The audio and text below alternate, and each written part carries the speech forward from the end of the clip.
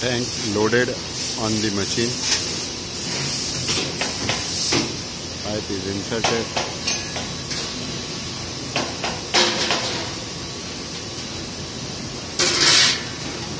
One side of the sheet is clamped.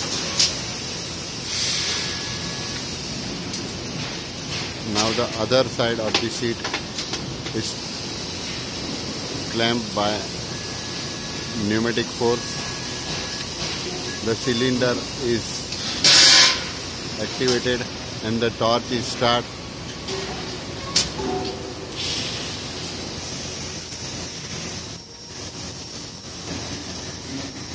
torch is moving.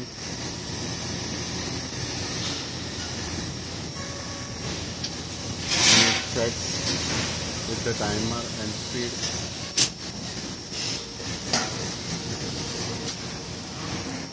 it automatically cut and the reverse is press pneumatic cylinder. Now the tank the welding quality you can see.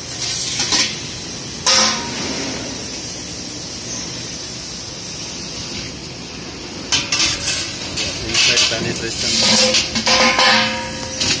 and external loop